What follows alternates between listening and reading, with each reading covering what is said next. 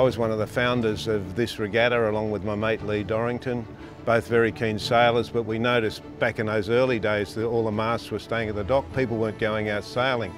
So we started the twilight sailing here and that got some momentum going. We said, well, we've got to have a regatta. It's the biggest regatta in the club's uh, calendar and it's also probably the biggest of, uh, sailing regatta in southeast Queensland. We decided to enter Sail Paradise 2022 because we had such a great regatta last year. Really uh, excellent uh, breezes, excellent racing, and especially in the passage races, we had some really exciting times. It's a great way to start off the new year because it's on uh, 3rd to the 6th of January next year.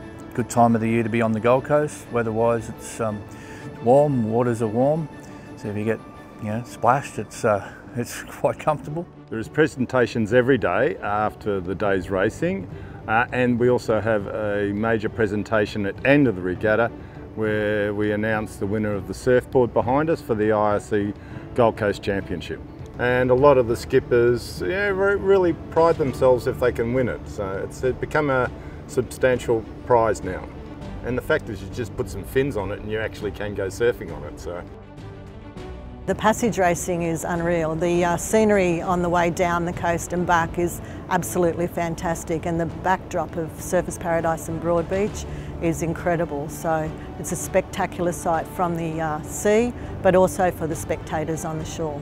Well it's a nice change from the normal Australian lifestyle because we're subtropical We've got everything you could possibly want for regatta, including family activities on shore, the, all the uh, fun places to go to like SeaWorld, they're all here.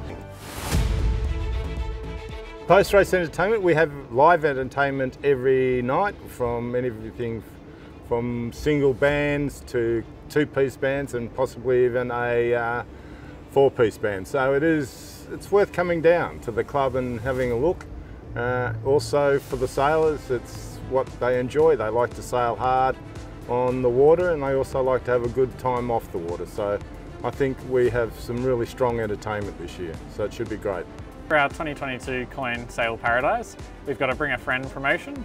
So if you've done the regatta before, you recommend a friend to come along, they'll get their registration for free if they haven't completed the event in the past.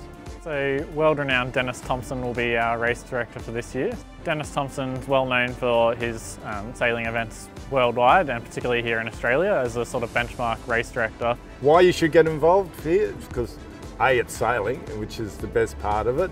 B, it's, uh, we have this beautiful new super yacht berth which will be finished by this time next year. So there's plenty of room. So we can take large 100 foot boats and you know, 80 foot boats. So it's going to open it up to the whole sailing world.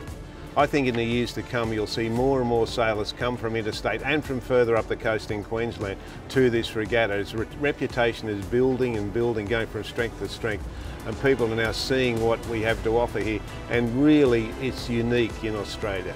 We're lucky we get to enjoy it all year round but you'll get your little week of paradise and it's the best thing to do. Register now. Bring a friend for free. Come and, Come and join, join us.